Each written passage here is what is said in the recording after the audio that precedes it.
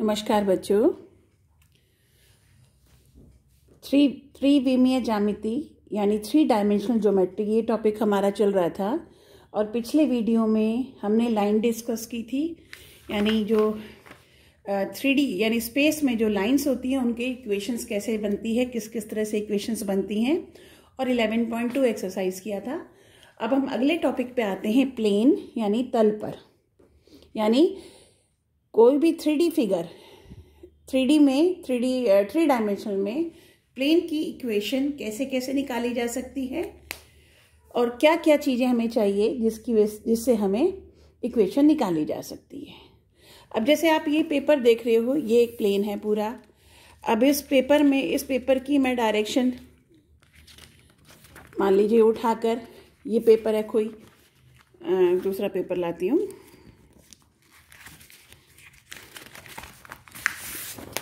ये पेपर को अगर मैं यूँ कर दूँ, टेढ़ा तो इस तरह से ये एक प्लेन बन गया। ऐसे टेढ़ा कर दिया तो ये एक प्लेन बन गया। और इस तरह से ये अलग प्लेन तो ये डिफरेंट डिफरेंट डायरेक्शन में प्लेन है। तो प्लेन की इक्वेशन निकालने का क्या मतलब होता है? प्लेन की इक्वेशन का मतलब होता है कोई ऐसा सूत्र जिसमें उस प्लेन पर, ये प्लेन है और ये प्लेन का मतलब यहीं ख़त्म नहीं हो गया। इसकी बाउंड्री यहीं ख़त्म नहीं होगी या ये प्लेन जो है, इसका मतलब यहीं नहीं, ये अनंत तक चला गया। चारों तरफ़ से ये अनंत तक तक चला गया है। तो ये कोई प्लेन है इस तरह से। तो प्लेन का मतलब होता है इस प्लेन पर पड़ने वाले, जहाँ अनंत तक जा रहा है। प्रत्येक बिंदु, कहीं भी एक पेन रखूँ तो हर जगह वो एक बिंदु कहलाएगा। एक ऐसा सूत्र, एक ऐसा समीकरण जो उन सभी बिंदुओं को दर्शा सके, वो हमारा प्लेन कहलाता है। तो किसी प्लेन की इक्वेशन को फाइंड आउट करने के लिए तीन रूप में हम समीकरण ज्ञात करते हैं। यानी तीन रूप में अगर हमें मिलेंगी तो हम उनका डायरेक्ट इक्वेशन निकाल लेंगे फॉर्मूले से और वो फॉर्मूले कैसे बनते हैं, ये भी बताएँगे आपको। तो पहला जो है कि एक तो हमें पता होता होना चाहिए नॉर्मल टू प्लेन यानी प्लेन पर लंब हो। नॉर्मल टू प्लेन यानी जो तल है, ये मान लो ये तल है तो उस, इस पर हमें जो नॉर्मल होता है नॉर्मल से मतलब एक ऐसी रेखा जो लंब पर, जो उस पर 90 डिग्री का कोण बनाए। अगर ये आपका तल है तो ये ये जो पेन है, ये 90 डिग्री का कोण बना रहा है, यहाँ यहाँ। तो ये जितने भी कोई भी, इसके किसी भी पॉइंट पर एक ऐसी लाइन या पेन रख दूँ इस तरह से कि ये आपका ये 90 डिग्री का कोण बना रहा है, इधर इधर इधर, चारों सभी डायरेक्शन में। तो इस तरह का कोई भी अगर आपको प्लेन पता हो, मान लो इस समी, इस प्लेन का समीकरण निकालना है, एक तो उस पर नॉर्मल का पता हो और उसका डिस्टेंस फ्रॉम ओरिजिन, उसका, उसकी दूरी पता हो, डिस्टेंस फ्रॉम ओरिजिन पता हो कि उसकी मूल बिंदु से दूरी क्या है। वो दी हो और नॉर्मल टू प्लेन दिया हो। नॉर्मल का मतलब होता है अभिलम। हिंदी में इसे हम बोलेंगे अभिलम।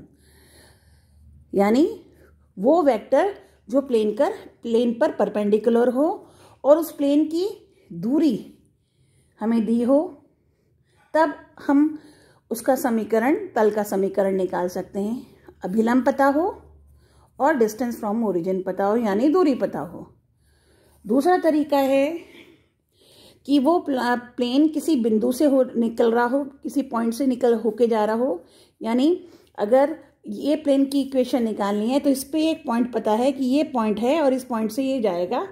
दूसरा, उसका अभिलंब पता हो।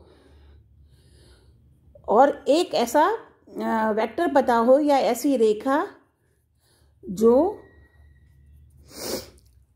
तल पर 90 डिग्री का कोण बनाए या लंब हो, यानी परपेंडिकुलर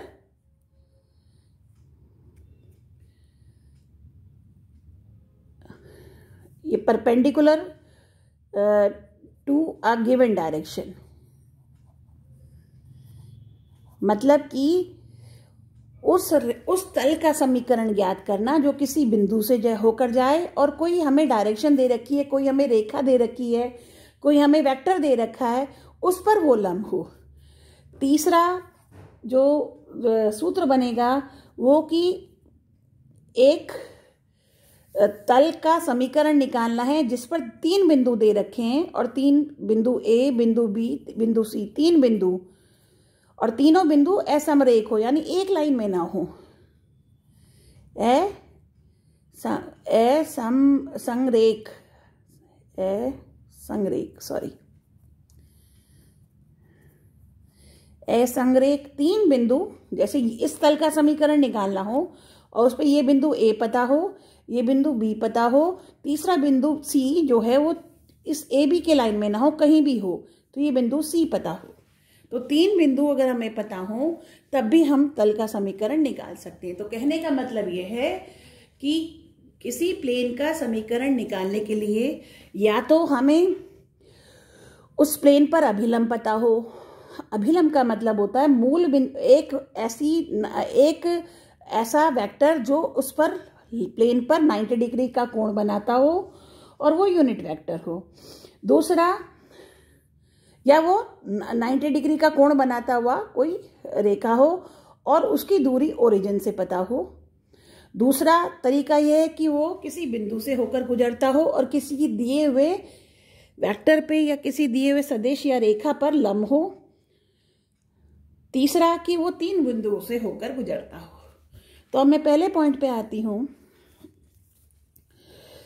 कि जब आपको अभिलंब दिया हो अभिलंब और मूल बिंदु से दूरी दी हो। तो पहले वाला पॉइंट इसका कैसे हम निकालेंगे?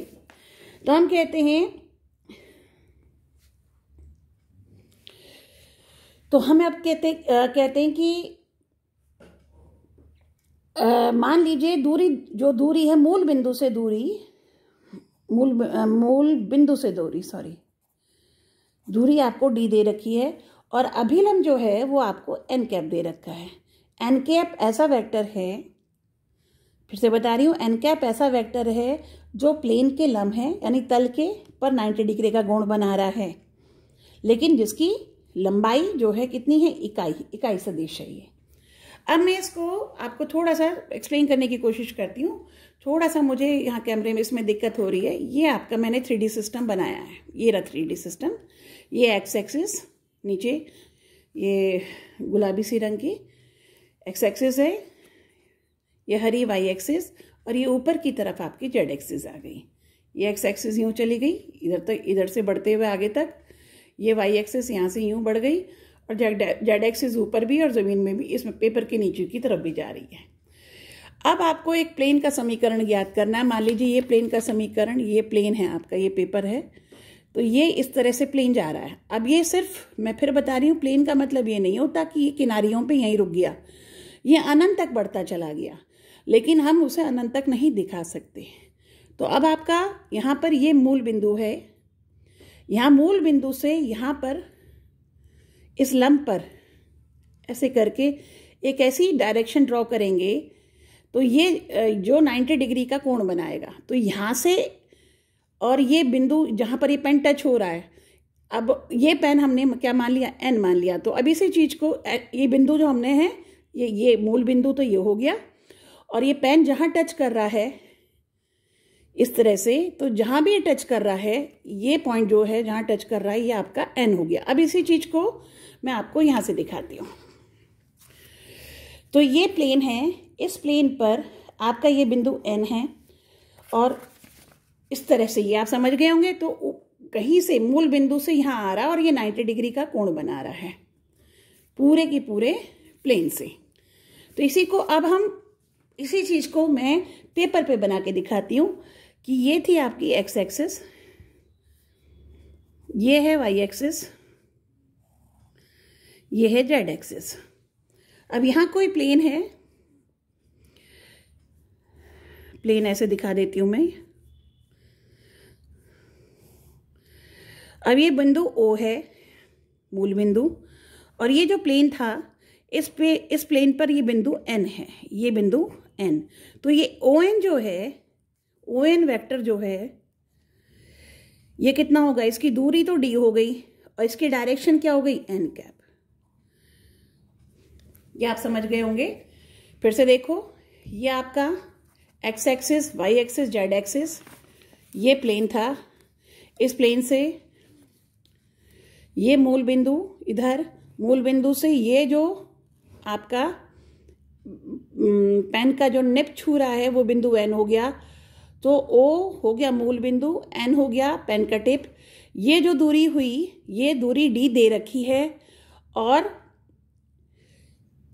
चूँकि एन कैप क्या है? ऐसा वेक्टर जो इस प्लेन के 90 डिग्री का कोण बनाए। तो ये जो वेक्टर होगा, इसकी डायरेक्शन क्या हुई? एन कैप क्योंकि एन कैप सिर्फ़ क्या बता रहा है आपको? उसकी डायरेक्शन और दूरी क्या बता रही है? वो डी है। तो ओ एन कितना हुआ? डी एन कैप अब इस प्लेन पे कोई भी बिंदु हमने पी ले लिया। पी कोई भी बिंदु है। तो ये ओ पी वैक्टर जो हो गया, वो इस बिंदु पी का स्थिति सदिश हो गया। तो अगर आप पी एन को ज्वाइन करें तो बिंदु पी किस पे है? इस प्लेन पर। बिंदु एन कहाँ पर है? इस प्लेन पर। ये बिंदु एन है, ये बिंदु पी है। तो पी एन जो रेखा है, वो कहाँ पर है? ये आपका उस प्लेन के ऊपर है। और ओ एन बिंदु जो है, वो उस प्लेन पर 90 डिग्री का कोण बना रहा है। इसका मतलब जो पी एन वैक्टर है आपका जो पी एन या एन पी वैक्टर कह देती हो, एक ही बात है एन पी वैक्टर है, वो परपेंडिकुलर है ओ एन वैक्टर के। सीधी सी बात हो गई। तो इसका मतलब अगर ये दोनों एक दूसरे पर लम हैं तो N P vector dot O N vector किसके बराबर होगा? ज़ीरो के।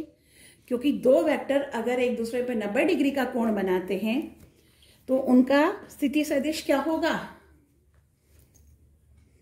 अगर दो वेक्टर एक दूसरे पर नब्बे डिग्री का कोण बनाते हैं तो उनका स्थिति सदिश होगा आपका सॉरी उनका डॉट प्रोडक्ट ज़ीरो होगा। तो अब एनपी वेक्टर जो है डॉट ओ एन वैक्टर कितना हो गया? ज़ीरो ओ एन जो है कि, किसके बराबर है? डी इंटू डी इंटू किसके? एन कैप के, या मैं पहले ही बता चुकी हूँ। तो हम लिख सकते हैं एनपी वेक्टर को OP vector minus O N vector dot ये हो गया डी इंटू एन कैप बराबर ज़ीरो पूरे को डी से भाग दे दिया, क्योंकि डी जो है दूरी है, दूरी ज़ीरो के बराबर नहीं है, अगर वो मूल बिंदु से नहीं जा रहा। तो पूरे को उससे भाग दे दिया तो ओपी वेक्टर कितना हुआ? आर वेक्टर क्योंकि पी हमने माना कोई भी बिंदु किस पर? तल पर। और पी को हम चर बिंदु लेते हैं तो पी का स्थिति सदिश हम हमेशा आर वेक्टर मान के चल रखते हैं, यानी ओपी वेक्टर किसके बराबर होगा? आर वेक्टर तो R vector minus O N O N vector कितना हुआ? आपका अभी बताया था D N cap dot N cap बराबर ज़ीरो अगर मल्टीप्लाई करेंगे तो R cap R vector dot N cap minus D D तो सिर्फ़ दूरी है, वेक्टर नहीं है। N cap dot N captor N cap बराबर zero N cap dot N cap कितना होगा? वन क्योंकि ये यूनिट वेक्टर है। यूनिट वेक्टर की डॉट प्रोडक्ट जो है, दोनों की, दोनों एक ही डायरेक्शन में है। कितनी होगी ये? वन होगी। तो ये हो गया R vector dot N cap बराबर डी तो ये आपका समीकरण बन के आया वेक्टर इक्वेशन बन के आई। तो फिर से मैं इसको आपको, इसको रिपीट करती हूँ। तो एक तल का समीकरण, यानी इक्वेशन ऑफ़ प्लेन और वो भी वेक्टर इक्वेशन सदिश समीकरण, जो किसी एन कैप वेक्टर पे, यानी वो तल एन कैप पर लम है तो अभिलम बोलते हैं इसे। अभिलम वेक्टर है ये। एन कैप एन कैप अभिलम है उस तल पर जो भी तल चाहिए। और डी जो है, तल की मूल बिंदु से दूरी है, तब वेक्टर इक्वेशन होगी R cap minus R cap dot N cap बराबर डी ये आपका वेक्टर इक्वेशन हो गया। अब इसी को अगर हम कार्टेशियन फॉर्म में लाएँगे, यानी कार्तिक रूप में लाएँगे कार्तिक तल में कार्तिक रूप में समीकरण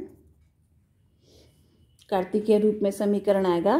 तो आर वेक्टर क्या मानते हैं? यानी कोई भी बिंदु और कोई भी बिंदु पी हम क्या मानते हैं? एक्स वाई जेड तो आर वेक्टर आपका हो गया X I plus Y J plus Z K. N cap कैसा वेक्टर है? इकाई सदिश जो आपके प्लेन पर लंब है। तो अगर इकाई सदिश है तो उसे मानूँगी L I plus M J plus N K तो एल एम और एन क्या होंगे? दिक कोजिया होंगे डायरेक्शन कोसाइंस होंगी।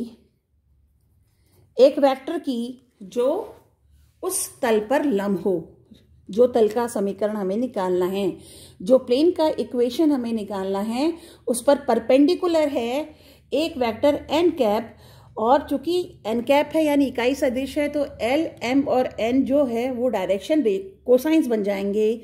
अगर ये इकाई सदिश नहीं होता तो एल एम एन जो कोफिशेंट है, ये डायरेक्शन रेशियोज होते। क्योंकि एन कैप का मतलब होता है, इसका जो मॉडुलस है, वो वन है। इसका मतलब L square plus M square plus N square under root कितना होना चाहिए? वन होना चाहिए। और अगर ऐसी स्थिति आती है तो यही डायरेक्शन रेशियोज जो होते थे, वो क्या बन जाती है? डायरेक्शन को साइंस बन जाते हैं। डी दूरी है तो अगर हम यहाँ रखेंगे आर की जगह X I plus Y J plus Z K dot L I plus M J plus N K बराबर डी डी आपकी दूरी है मूल बिंदु से प्लेन की। दूरी का फिर बता रही हूँ मतलब होता है मूल बिंदु से प्लेन पर परपेंडिकुलर जो जो लाइन जाएगी और जहाँ भी वो, उसका टच करेगी प्लेन को, उस बिंदु से, उस पॉइंट से, मूल बिंदु यानी ओरिजिन का जो डिस्टेंस है, वो ही डिस्टेंस कहलाता है। तो अब इसे अगर हम डॉट प्रोडक्ट लेंगे तो ये बन जाएगा L X plus M Y plus N Z बराबर डी ये उस इक्वेशन ये ये इक्वेशन ऑफ़ प्लेन है, ये उस तल का समीकरण है, जिस पर अभिलंब वेक्टर के डायरेक्शन कोसाइंस देख कोजिया एल एम और एन है और जिसकी प्लेन से दूरी डी है। तो ये आपका डायरेक्ट समीकरण बना था। तो अगर आप पे क्वेश्चन ये आता है कि जैसे इन्होंने एग्ज़ाम्पल तेरह दे रखा है, कहते हैं वेक्टर इक्वेशन बताओ उस प्लेन की, जिसका डिस्टेंस जो है डी दे रखा है six upon under root twenty nine और जिसका वेक्टर इक्वेशन जो है जो वेक्टर नॉर्मल है नॉर्मल से मतलब अभिलम है अभिलम का समीकरण दे रखा है आपको two I minus three J plus four K तो अब आप देख रहे हो इनका जो आ, आ, जो वो कोफिशेंट्स का यानी ये अगर जो वेक्टर है ये वेक्टर जो भी है इसको मैं अगर पी वेक्टर एन वेक्टर मान लेती हूँ तो आप देख रहे हो ये एन कैप नहीं है क्योंकि इन सब का जो इस वेक्टर की जो लंबाई है, वो वन नहीं है, यानी ये इकाई सदेश नहीं है। तो पहले इसको इकाई सदेश में कन्वर्ट करोगे, इसीलिए मैंने इसको एन वेक्टर मान लिया। तो एन कैप कैसे निकालोगे? ये आएगा दो का वर्ग माइनस तीन का वर्ग प्लस चार का वर्ग। चार का वर्ग कितना हुआ? सोलह प्लस चार, बीस, और ये नौ। Twenty nine under root twenty nine से जब इसको डिवाइड कर देंगे प्रत्येक को, हर एक को। तो ये एन कैप बन जाएगा। अब अभी तक ये डायरेक्शन रेशियोज थी इस वेक्टर एन वेक्टर की। अब ये क्या बन गई? ये डायरेक्शन को, साइंस बन गए हैं। तो ये एन कैप आ गया। तो अगर हमें कहते हैं इसकी वेक्टर इक्वेशन निकालना तो ये वाला सूत्र लगाएँगे फॉर्मूला लगाएँगे तो आपकी इक्वेशन होगी R vector dot N cap की जगह आएगा। Two I upon under root twenty nine minus three upon under root twenty nine plus four I upon under root twenty nine is equals to distance जो दे रखा है, वो दे रखा है six upon under root twenty nine तो ये आपकी वेक्टर इक्वेशन इस तरह से है। तो ये तरीके हैं, आप आपका समीकरण निकाल सकते हैं।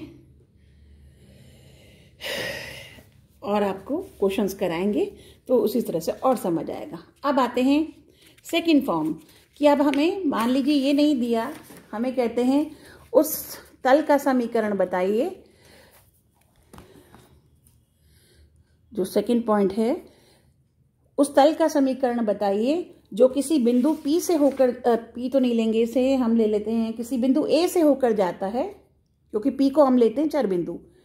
हमें बिंदु ए दे रखा है, यानी वो तल बिंदु ए से होकर जाता है, और बिंदु ए का स्थिति सदिश दे रखा है, यानी ओ ए वैक्टर बिंदु ए से जाता है तो ओ ए वैक्टर दे रखा है आपको ए वैक्टर दे रखा है। और किसी वैक्टर एन वैक्टर के वो लंब है। यानी एक वेक्टर एक आर वेक्टर ऐसा है, अब मैं ये इकाई सदिश नहीं कह रही हूँ। एन वेक्टर एक ऐसा सदिश है जो तल पर लंब है। यानी ये आपको एक एन वेक्टर दे रखा है। कह रहे, ये समीकरण है, ये एक वेक्टर है। एक तल बताओ जो इस पर लंब हो। तो इस पर लंब जितने भी है, ये वेक्टर भी इस पर लंब है, ये वेक्टर भी इस पे लंब है, ये वेक्टर भी इस पे लंब है, ये पेपर भी इस पर लंब है। और चूँकि ये लाइन यहाँ तक खत्म नहीं हो गई अंत भी ये तो अनंत तक यहाँ जा रही है, अनंत तक नीचे ज़मीन में घुस जाएगी। तो जितने भी ये पेपर रखे हैं, आप देख रहे हो, आप ये देख रहे हो, नीचे ये वाला पेपर भी इस पर लम है, ये पेपर भी इस पर लम है, नीचे गुलाबी से पेपर दिख रहे हैं, ये भी इस पर लम है तो सब इस पर लम है। तो हमें तो एक चाहिए तो फिर वो खास इक्वेशन कैसे निकालोगे? अब ये बोल दिया कि वो किसी बिंदु, ये बिंदु से होकर जा रही है। तो इस बिंदु से जाए तो अभी कैसा होगा? ऐसा प्लेन जो इस पर 90 डिग्री का भी कोण बनाए, यानी ये जो वेक्टर है, इससे 90 डिग्री भी हो, यानी इनके पैरेलल होगा और इस बिंदु पी से होकर वो जाएगा। तो इसी चीज़ को अब देखो कैसे करेंगे। तो अब मैं इसको आपको इसी चीज़ को फिगर बना के दिखाने की कोशिश कर रही हूँ। आपकी बार X axis Y axis Z axis को थोड़ा दूसरे ढंग से ले रही हूँ मैं। एक्स एक्सिस को मैंने यहाँ ले लिया। ये एक्स एक्सिस है, ये वाई एक्सिस हो गया, ये ऊपर जेड एक्सिस हो गया। हालाँकि इससे कोई फ़र्क नहीं पड़ता, आप किसी भी डायरेक्शन में ले लें। बस उनका रोटेशन रूल आपको पता होना चाहिए। राइट अब ये एक प्लेन है। अब ये थ्री फिगर है, इसे समझने की कोशिश करिएगा। ये कोई प्लेन है। ये मूल बिंदु था। ये कोई पॉइंट ए है, यानी ये प्लेन इस बिंदु ए से जाता है तो ये ओ ए वैक्टर जो होगा ओ ए वैक्टर, इसका स्थिति सदिश ए वैक्टर है। दूसरा, ये जो प्लेन है, ये इस पर एक वेक्टर जा रहा है एन वेक्टर, जो इस प्लेन पर 90 डिग्री का कोण बना रहा है। अब हमने इस पर कहीं भी एक पॉइंट ले लिया पी और इस पी के कोऑर्डिनेट क्या हो गए? एक्स वाई जेड तो ओपी वैक्टर जो है, क्या होगा? बिंदु पी का स्थिति सदिश, जिसको हम जनरली क्या मान के चलते हैं? आर वैक्टर जिस तरह से बिंदु पी एक्स वाई जेड लेते हैं हम कार्तिक फॉर्म में, उसी तरह से वेक्टर फॉर्म में चार बिंदु को हम आर वेक्टर से रिप्रेजेंट करते हैं। तो ये आपका हो गया आर वेक्टर ओपी अब ये एपी को अगर मैं ज्वाइन करती हूँ तो ये ए पी जो है, चूँकि बिंदु ए भी प्लेन पर है, बिंदु पी भी इस प्लेन पर है तो ये ए पी को, भाई ये आपका, ये पेपर है, एक प्लेन है। इस प्लेन पे एक बिंदु यहाँ डालूं और एक बिंदु यहाँ डालूं तो इस ए पी जो लाइन बनेगी, ये इसी प्लेन पर ही बनेगी। इससे बाहर नहीं, इसके, इस पे ये जो रेखा बन के आ रही है, ये इस प्लेन से या कागज़ से बाहर नहीं जाएँगे। सारे पॉइंट जो हैं, वो इसी प्लेन पर रहेंगे। तो कहने का मतलब ये जो एपी वेक्टर है, ये किस पे? इस प्लेन पर है। और ये जो एन वेक्टर था, इस प्लेन पर लंब है। अब एन वेक्टर इस प्लेन पर लंब है एपी इस प्लेन में ही है। तो ये मान लीजिए वेक्टर आपका एन वेक्टर है। अब इस रे, इस प्लेन में एक रेखा ये जा रही, ये इस पर 90 डिग्री बनाएगी। एक रेखा ये जा रही, ये इस पर 90 डिग्री बनाएगी। ये रेखा, ये 90 यानी जितनी भी रेखाएँ दिख रही हैं, जो इस कागज़ पे खिंची हुई है, वो सब सब जगह ये 90 डिग्री का कोण बनाएगी। तो इस तरह से एपी किसके? एन वेक्टर की क्या होगी? परपेंडिकुलर होगी। इसका मतलब एपी डॉट एन वेक्टर कितना हो गया? ज़ीरो जब दो वेक्टर लंब होते हैं एक दूसरे पर तो उनके डॉट प्रोडक्ट हमेशा क्या होता है? ज़ीरो होता है। ये आपको समझ आ गया। अब एपी को हम लिखेंगे OP vector minus O A vector N vector आपको दे ही रखा है, बराबर ज़ीरो। ये हो गया R vector minus A vector dot N cap, N vector बराबर ज़ीरो। तो ये उस रेखा का समी, उस तल का समीकरण हो गया। ये equation, vector equation of plane हो गई, जो किसी बिंदु ए वेक्टर से होके गुजरता है वो प्लेन और किसी एन वेक्टर के वो प्लेन परपेंडिकुलर है। तो अब इसको कार्टिक फॉर्म में अगर हम करेंगे तो अब ये बिंदु ए हमें दिया हुआ है तो मान लीजिए बिंदु ए के coordinate X one Y one Z one है। एन वेक्टर अब की बार यूनिट वेक्टर नहीं है, पिछले वाले में एन वेक्टर यूनिट वेक्टर था, यानी जिसकी लंबाई इकाई सदिश थी, इकाई थी, उसकी लंबाई सिर्फ़ एक मात्रक थी। एन वेक्टर अब कोई भी वेक्टर आप ये नहीं कह रहे कि ये इकाई सदिश है। तो अगर इसके, इस एन वेक्टर को हम ले लेते हैं A I plus B J plus C K आप स्मॉल में भी ले सकते हो। यहाँ तुम्हारी किताब में एनसीईआरटी में कैपिटल दे रखा था, इसलिए मैंने कैपिटल ले लिया, वरना हम जनरली स्मॉल मानते हैं। इन्होंने भी कैपिटल लिया था। इसलिए हमने ये ले लिया, कोई बड़ी बात नहीं, छोटा ले लो, बड़ा ले लो। तो इस तरह से और आर आर ये आर जो है पी का स्थिति सदिश होता है तो पी को हमने क्या मानते हैं हमेशा? एक्स वाई जेड तो इससे आर माइनस ए वैक्टर कितना बना? OP minus O A vector R vector minus A का तो यही मतलब हुआ। ओपी का मतलब X I plus Y J plus Z K minus O A का X one I plus Y one J plus Z one K इस तरह से ये हुआ X minus X one I plus Y minus Y one J plus Z minus Z one K तो ये R minus ए vector हुआ N vector ये है। अगर इसमें यहाँ रख दें तो आर माइनस ए की जगह तो हम ये लिखेंगे, ये X minus X one I plus Y minus Y one J plus Z minus Z one K dot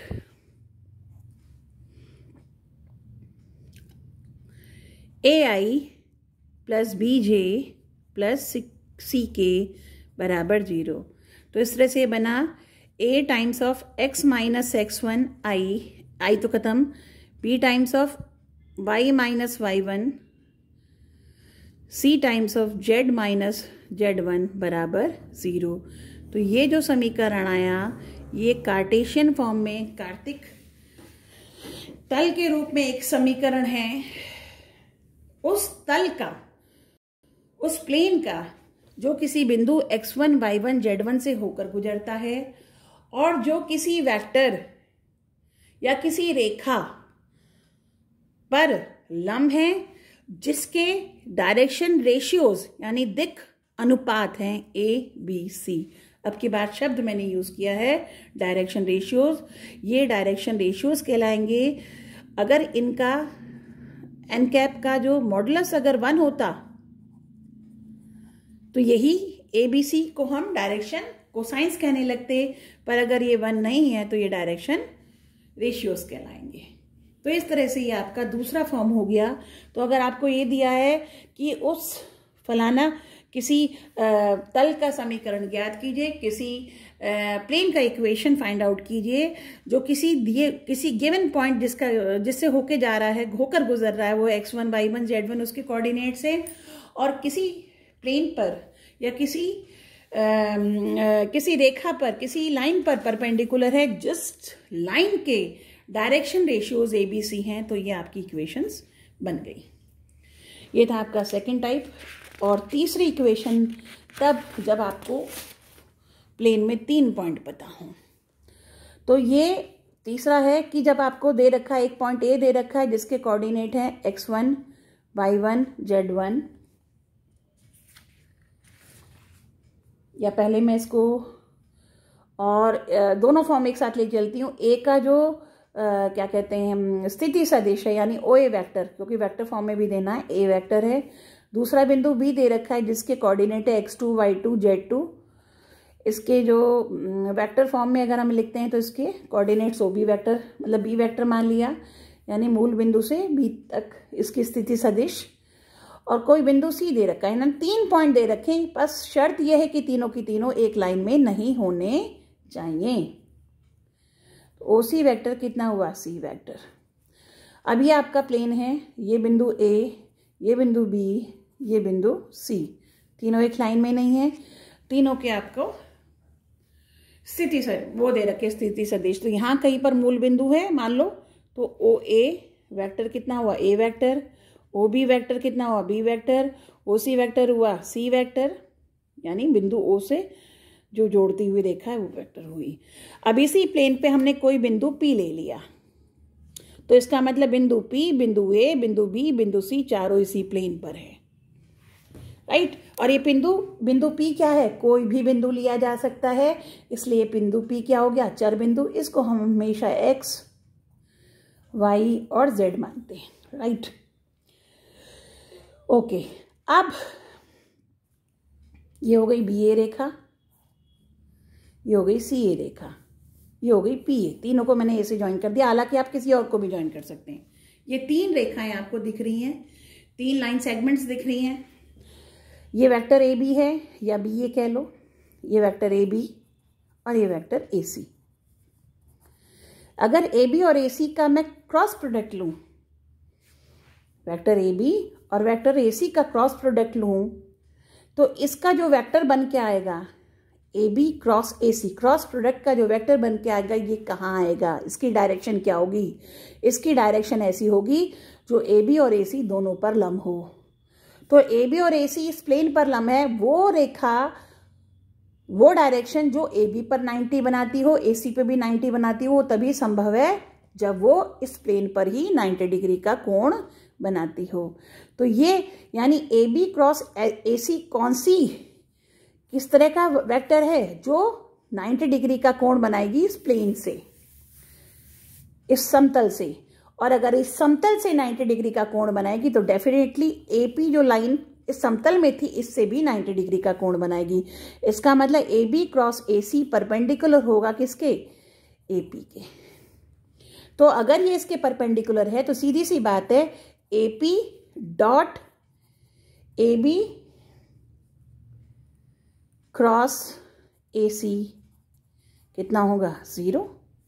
भाई, इस ए बी क्रॉस ए सी को मैं वेक्टर पी मान रही हूँ लेट सपोज़ तो वेक्टर पी है स्मॉल पी या कुछ और ले लेती चलो क्यू ले लेती हूँ, क्योंकि पी आप वहाँ से कंफ्यूज ना हो जाए।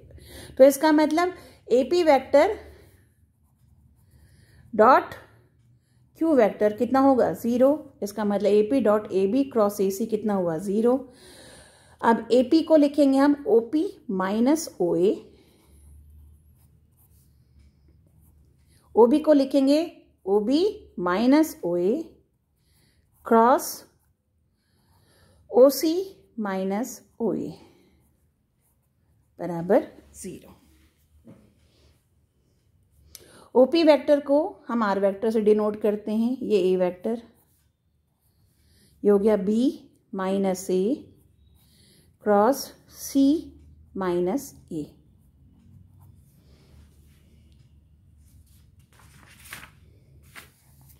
तो ये जो आपका समीकरण बन के आया, यही,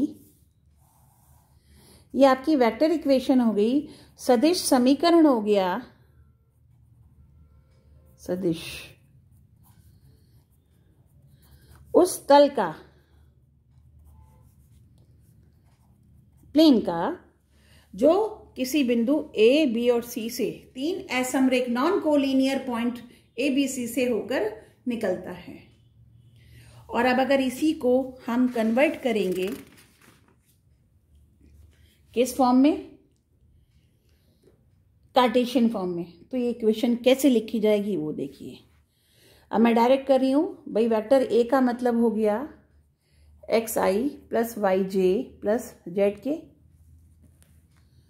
इसी तरह से vector B X one sorry X one I Y one J Z one X two I Y two J Z two K और सी वेक्टर हो गया X three I Y three J Z three R minus A का मतलब हो गया direct कर रही हूँ X minus X one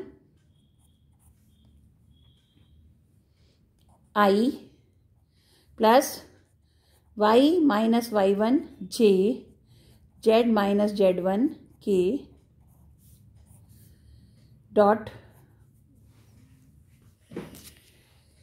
B minus A B minus A यानी X two minus X one X two minus X one I plus Y two minus Y one J plus Z two minus Z one K cross. Cross product है ये। तो इसीलिए मैंने इसको करली bracket ले लिया था। अब सी माइनस ए का मतलब C vector minus A vector यानी X three minus X one I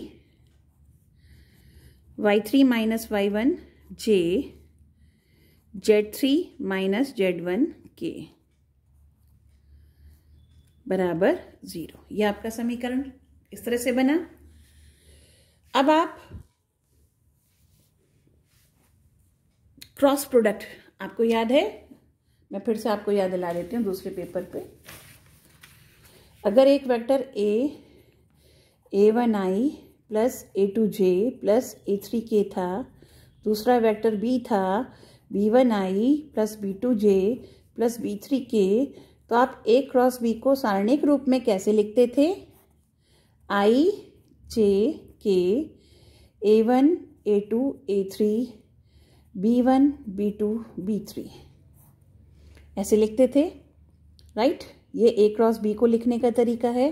तो इसी तरह से अगर मैं इसको क्रॉस प्रोडक्ट में लिखूँगी तो X minus X one I plus Y minus Y one J plus Z minus Z one K और ये हो गया आपका dot I J K X two minus X one, Y two minus Y one, Z two minus Z one.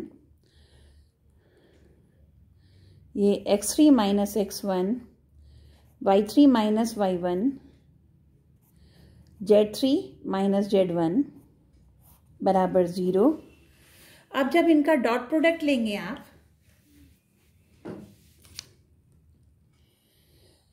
पहले इसको solve करेंगे। तो आई into ये इंटू ये माइनस ये इंटू ये फिर माइनस जे इंटू जे के कोऑर्डिनेट्स ये आएँगे, फिर के के आएँगे। आ, और फिर उसके बाद आई से प्रोडक्ट करके तो ये रिज़ल्ट सेम आएगा। मैं इसको बहुत खोल के नहीं बता रही आपको। तो इसका जो रिज़ल्ट आएगा अल्टीमेटली वो ऐसे आएगा। असल में पहले ट्रिपल प्रोडक्ट भी नहीं होती थी, इस बार तुम्हारे सिलेबस में नहीं है ये। तो इसलिए मैंने इसको डायरेक्ट लिख दिया। यानी इनका ट्रिपल प्रोडक्ट करेंगे तो ये आई जे के रिप्लेस इसके कोऑर्डिनेट से हो जाएगा। तो X minus X one Y minus Y one Z minus Z one X two minus X one Y two minus Y one Z two minus Z one और X three minus X one Y three minus Y one Z three minus Z one बराबर zero ये Cartesian form होगी उस रेखा का जो तीन बिंदुओं से होकर जाता है। तो ये तीन तरह से आपके समीकरण बन के आए। इन समीकरणों को याद करेंगे।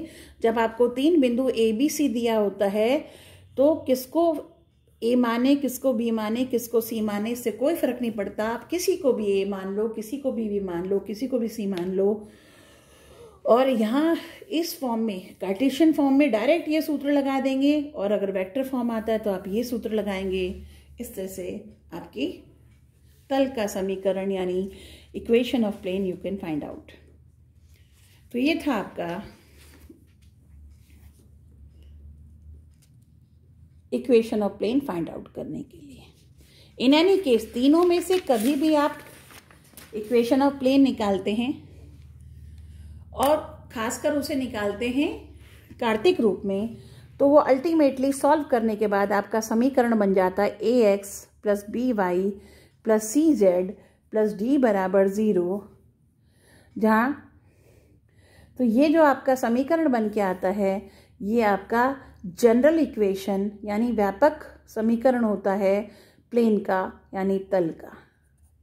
इसे देखते ही आप ये पहचानेंगे ए बी सी आपका उस वेक्टर के आपके डायरेक्शन कोसाइंस हैं जो प्लेन पर परपेंडिकुलर है। ए बी सी और डी उसका मूल बिंदु से दूरी है। तो अगर इसको इंटरसेप्ट फॉर्म में अगर लाना है, यानी ये प्लेन आपको दे रखा है और एक्स एक्सिस पे कितना कटान करता है वाई एक्सिस पे कहाँ काटता है जेड एक्सिस पे क्या काटता है तो इसका जो कटान का फॉर्म होगा, यानी ये एक्स एक्सिस है, ये वाई एक्सिस है, ये जेड एक्सिस है लेट सपोज़ या ये एक्स ये वाई ये जेड एक्सिस है और ये एक प्लेन है। तो एक्स एक्सिस पे ये जो दूरी, मान लीजिए ए काटता है वाई एक्सिस पे बी काटता है जेड एक्सिस पे सी काटता है तो ये इसका मतलब ए पर जो पॉइंट है, ये ये ये बिंदु जो है, इसके कोऑर्डिनेट्स क्या होंगे? ए ज़ीरो ज़ीरो ये वाई पर ये पॉइंट है, ये ए मान लेते हैं, ये ए तो खैर हमने ले रखा है पी क्यू आर मान लेते हैं लेट सपोज़ इसे।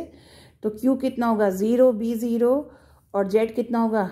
ज़ीरो ज़ीरो सी तो जब ये पॉइंट ए निकालना हो तो इस पॉइंट को अगर मैं यहाँ रखूँगी तो ए एक्स यानी ए ए चूँकि ये पॉइंट जो है, ये प्लेन पर भी है, और किस पे?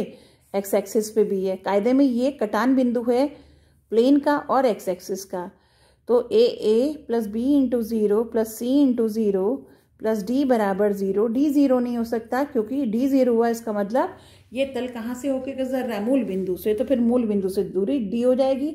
तो जब मूल बिंदु से जाएगा तो X axis Y axis Z axis तीनों को मूल बिंदु पे ही काटेगा। तो इस तरह से जो ए हुआ, वो हुआ माइनस डी अपॉन ए और इसी तरह से जो बी हुआ, यहाँ पर रखेंगे निकालने पर, जो बी हुआ इसके कोऑर्डिनेट तो ये होगा माइनस डी अपॉन बी और जो सी हुआ, वो होगा माइनस डी अपॉन सी तो इस इक्वेशन को अगर ये है A X plus B Y plus C Z बराबर माइनस डी लिखती हूँ और सबको माइनस डी से भाग दे देती हूँ तो A X upon minus D plus B Y upon minus D plus C Z upon minus D बराबर ज़ीरो ज़ीरो बराबर वन सॉरी और ये हो गया X upon minus D upon A plus B Y upon minus D upon B plus C upon plus Z upon minus D upon C बराबर one और ये आपका क्या था? एक्स इंटरसेप्ट ये वाई इंटरसेप्ट प्लस ये हो गया जेड इंटरसेप्ट तो इस रूप में ये आपका समीकरण अगर रखा जाता है तो सीधा आपका ये कह सकते हैं कि एक्स एक्सिस पे कितना ही इंटरसेप्ट काटती है ए उसकी लंबाई ए है वाई एक्सिस पे जो इंटरसेप्ट काटती है, उसकी लंबाई बी है जेड एक्सिस पे जो इंटरसेप्ट काटती है, उसकी लंबाई सी है। तो ये आपका इंटरसेप्ट फॉर्म में आपका समीकरण था प्लेन का। ये बिल्कुल कुछ हद तक ऐसा ही मिलता है जैसे टू डी में प्लेन की इक्वेशन प्लेन की इक्वेशन थ्री में बहुत कुछ ऐसी सी होती है जैसे कि लाइन की इक्वेशन टू में होती है। काफ़ी हद तक मिलती जुलती है। तो अब जब क्वेश्चंस करेंगे, तब आपको और समझ आएगा। इसके बाद अगले टॉपिक पे आते हैं। दो रेखाओं का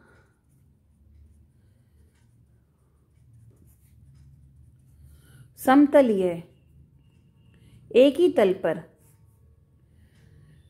समतलीय होने का प्रतिबंध। मतलब कोप्लेनरिटी ऑफ़ टू लाइंस। दो रेखाएँ हैं, एक रेखा ये है आपकी एक रेखा ये है, ये दोनों एक ही पेपर पे हमने ड्रॉ की है। तो ये एक ही पेपर पे होंगी, ये कैसे पता चलेगा? क्या कंडीशन होंगी? तो ये रेखा हमने मान ली, दी हुई है आर वेक्टर बराबर A one plus lambda B one इसका मतलब ये जो रेखा है, इस पर कहीं ना कहीं एक पॉइंट है। इसको मैं ए मान लेती हूँ।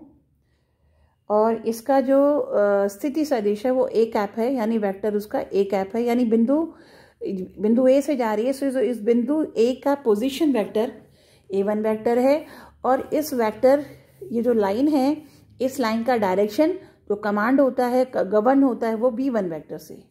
इसी तरह से ये दूसरी लाइन है, इसका इक्वेशन अगर है A two vector plus lambda B two vector तो इसका मतलब ये रेखा किसी पॉइंट ए डैश से जा रही है, जिसका पोजीशन वेक्टर क्या है ए टू वैक्टर है, जिसका सदिश ए टू वैक्टर है। ये आपको दिया हुआ है। अब आपको ये बताना है कि ये दोनों की दोनों लाइन एक ही प्लेन में है तो कौन सी स्थिति में होगा? अब आप देखिए मैंने ये ए और ए डैश को अगर ज्वाइन कर दूँ तो ये ए डैश जो है कहाँ पर है ये रेखा? ये जो लाइन है ए डैश कहाँ पर है? ये भी किस पर है? आपकी आ, इस पेपर पे ही है इसी तल पर है। और ये लाइन जो जिसकी direction B one B one vector है तो बी वन वैक्टर भी इस पे ही है। कायदे में ये जो लाइन है ये ऐसी लाइन है जो बिंदु ए से जा रही है और किसी वैक्टर बी के पर, के पैरेलल है बी वन के। इसी तरह से ये एक ऐसी लाइन है जो ए डैश से जा रही है और किसी वैक्टर बी टू के पैरेलल है। तो ये बी वन वैक्टर भी इसी प्लेन पर होगा या इसके पैरेलल बनाया जा सकता है इस एक ऐसा वेक्टर बनाया जा सकता है जो मतलब इसको इस तल पर लाया जा सकता है। अगर इस पर ना भी हो तो। क्योंकि बराबर वेक्टर हम यहाँ ड्रॉ कर सकते हैं, उसके पैरेलल एक वेक्टर ड्रॉ कर सकते हैं। तो इस तरह से ये दोनों वेक्टर हमारे किस पे आ गए? तल पर आ गए। तो B one cross B two vector जो होगा, वो कहाँ होगा? क्योंकि बी वन और बी टू दोनों इस तल पर हैं तो B one cross B two दो वैक्टर्स की क्रॉस प्रोडक्ट क्या होगी? 90 डिग्री होगी इस प्लेन पर। तो इस प्लेन पर 90 डिग्री है तो ए ए डैश पर भी लाइन 90 डिग्री होगी तो A A dash vector perpendicular होगा B one cross B two के और ए ए वैक्टर कितना हुआ? ए वैक्टर हुआ ए टू वैक्टर भाई O A vector O A dash vector minus O A vector A dash का तो यही मतलब हुआ। यानी ए वन वैक्टर या A two vector minus A one vector या A one vector minus A two vector एक ही बात है। परपेंडिकुलर हुआ किसके? B one cross B two के। और अगर परपेंडिकुलर होता है तो उनका डॉट प्रोडक्ट क्या होता है? ज़ीरो होता है। तो अगर ये B one cross B two dot A one minus A two vector या A two minus A one vector इनका डॉट प्रोडक्ट अगर ज़ीरो आता है तो हम कह सकते हैं कि ये दोनों की दोनों लाइन एक ही प्लेन पर स्थित है। और इसी को जब मैं थ्री के फॉर्म में कन्वर्ट करूँगी, अगर इसको मान लीजिए ए वन वैक्टर के आपके coordinate X one Y one Z one है एक्स और एट इसके वेक्टर आपके X two Y two Z two हैं ए डैश के, और बी वन वैक्टर आपको दे रखा है A one I B two J plus C one K और बी टू वैक्टर दे रखा है A two I plus B two J plus C two K तो इस तरह से जब अभी पीछे बताया था मैंने dot product triple dot product हो गया ये, यानी तीन वेक्टर दो का क्रॉस और एक का डॉट तो इनका सीधा सा A two A minus A one कितना होगा?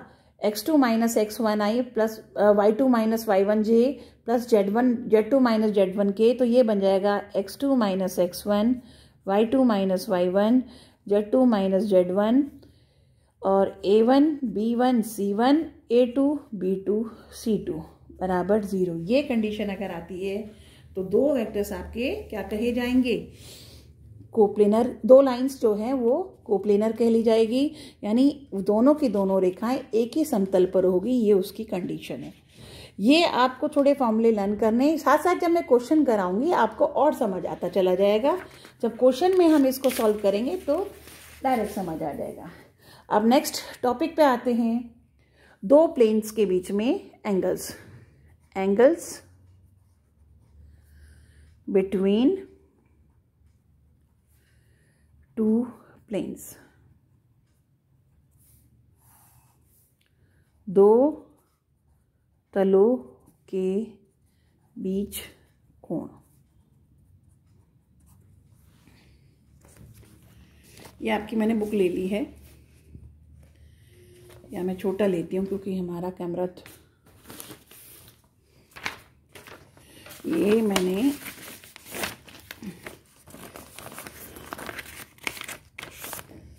एक तल आपका ये है। ये तल देख रहे हैं आप?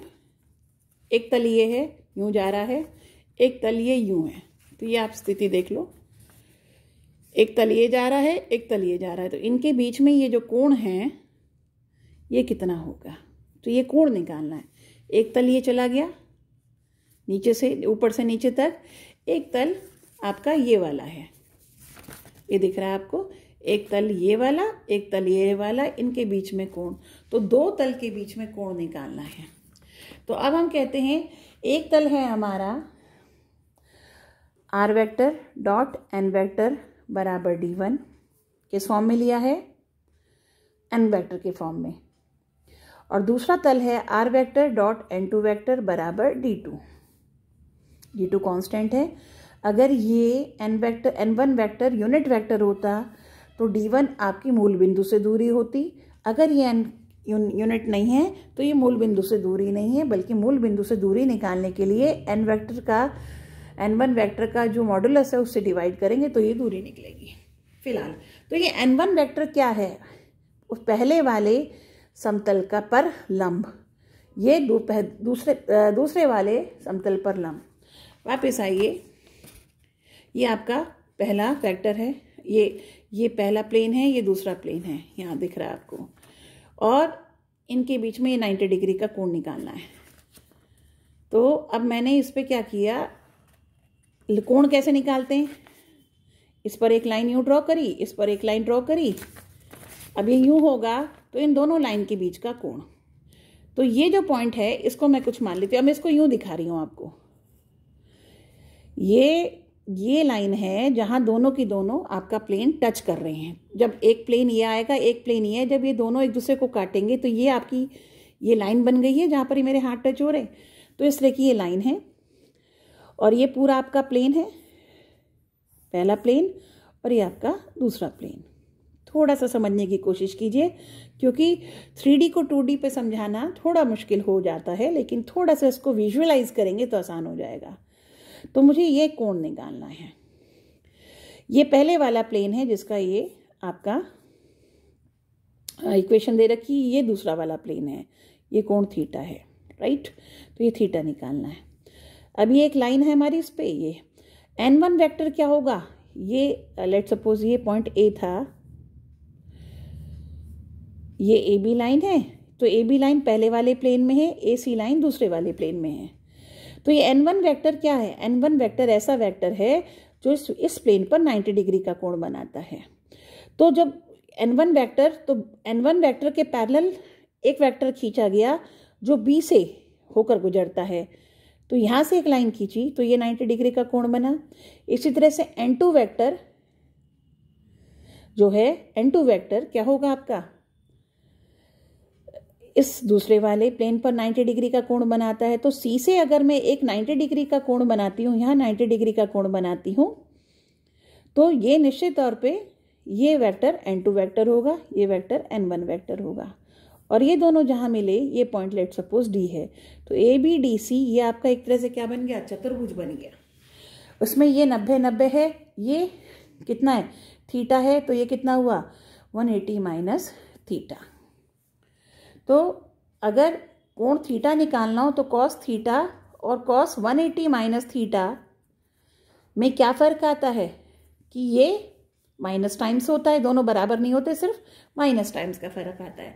इसीलिए कोण थीटा निकालो तो 180 एटी माइनस थीटा अपने आप निकल जाएगा। तो अगर ये एक्यूट हुआ तो ये ऑप्ट्यूज होगा और अगर ये ऑप्ट्यूज ये ये ऑप्ट्यूज हुआ तो ये एक्यूट होगा। यानी ये नब्बे डिग्री से ऊपर हुआ तो ये नब्बे से कम होगा और ये तो हमें नब्बे डिग्री से छोटे वाला कोण चाहिए, क्योंकि तो अब कायदे में हम ये वन एटी माइनस थीटा निकालते हैं तो cos one eighty minus theta किसके बीच में है? वेक्टर एन वन और वेक्टर एन टू के बीच में है। तो हम कह सकते हैं N one dot N two vector कितना होगा? एन वन का का मॉडुलस एन टू का modulus cos one eighty minus theta तो ये हो गया cos one eighty minus theta बन गया माइनस कॉस थीटा तो माइनस कॉस थीटा हुआ आपका N one dot N two upon N one dot N two का मॉडलस दोनों का तो cos theta basically minus time तो अगर मैं मॉडलस साइन ले लूँ, यानी प्लस को ध्यान में रखूँ तो इस तरह से दो रेखाओं के बीच में जो कोण आएगा, दो प्लेन्स के बीच में जो कोण आएगा, उसका सूत्र ये होगा। तो ये डायरेक्ट सूत्र हो गया और इसी को जब हम कार्टेशियन फॉर्म में कन्वर्ट करेंगे तो N one vector Cartesian form में यही समीकरण किस तरह से आएगा? A one X plus B one Y plus C one Z बराबर, या प्लस डी वन बराबर ज़ीरो ले लो, इसको दूसरे फॉर्म में लेंगे तो A A two X plus B two Y plus C two Z plus D two बराबर ज़ीरो तो यहाँ N one N one vector जो है, वो बेसिकली क्या हुआ? A one I plus B one J plus C one K ये होगा, इसी तरह से एन टू वैक्टर तो अगर आप इसको कार्टेशियन फॉर्म में कन्वर्ट करेंगे तो ये होगा आपका, ए, जब दोनों का डॉट प्रोडक्ट लेंगे, इसका और इसका इसका और एन टू का। एन टू कितना है? A two I plus B two J plus C two K तो ये होगा N N one dot N two आपका होगा। A one A two plus B one B two plus C one C two upon N one cap का modulus A one का square plus B one का square plus सी one का square फिर ये होगा ए two का स्क्वायर प्लस बी टू का square plus सी two का स्क्वायर तो ये आपका हो गया सूत्र एंगल निकालने का। आज इतना ही कीजिए। इसे थोड़ा सा बचा हुआ पार्ट और अगली एक्सरसाइज अगले वीडियो में। Thank you